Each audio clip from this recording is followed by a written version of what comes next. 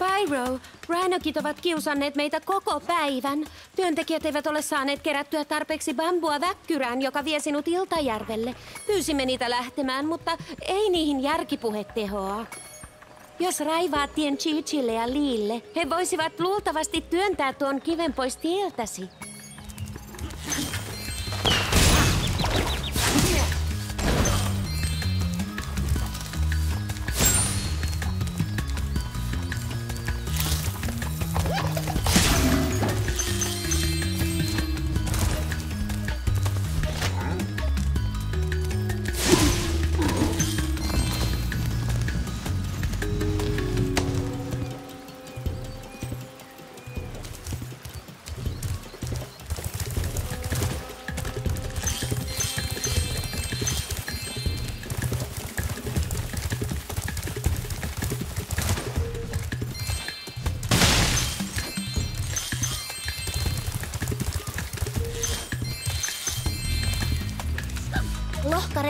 Raskas työntää, mutta jatkan bambun keräämistä heti kun hengitykseni tasaantuu.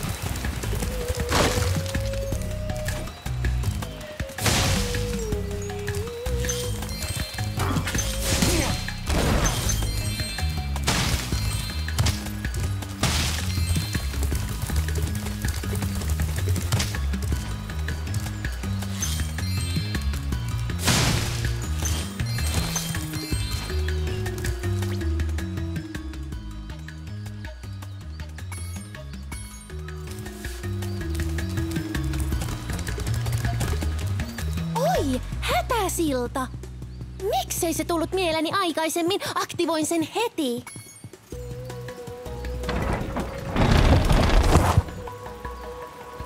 Meille olisi kunnia, jos ottaisit tämän vastaan osoituksena kiitollisuudestamme.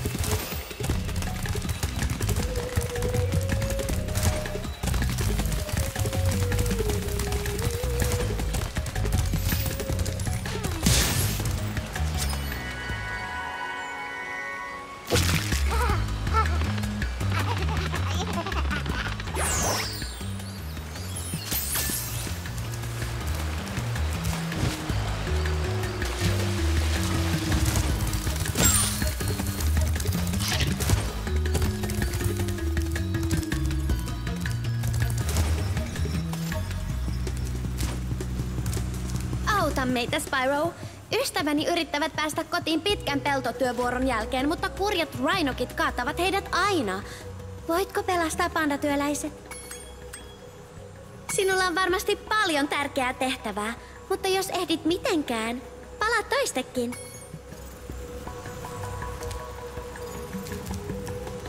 Auta meitä. Hyppää kyytiin. Kärtsää rhinokit, mutta älä ystäviäni.